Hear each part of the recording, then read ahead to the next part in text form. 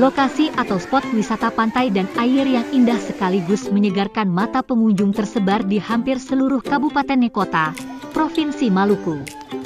Begitupun Kabupaten Seram bagian Barat, SBB, ada banyak spot wisata Maluku yang menarik untuk menghabiskan akhir pekan.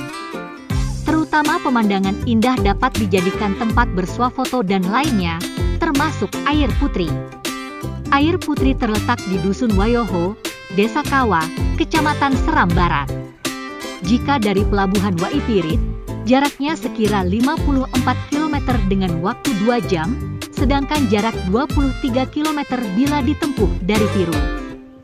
Pantauan tribunambon.com, ratusan pengunjung mulai berdatangan sekira pukul 10.0015.00 WIB untuk nikmati keindahan alam di sana kolam pemandian alami yang airnya keluar atau mengalir langsung dari dalam bebatuan menjadi corak tersendiri.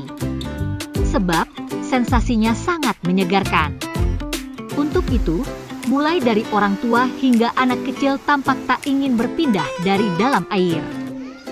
Pengunjung, Nengsi mengaku wisata air putri menawarkan pemandangan dan ketenangan sungguh luar biasa, makanya selalu menghabiskan waktu di akhir pekan bersama keluarga.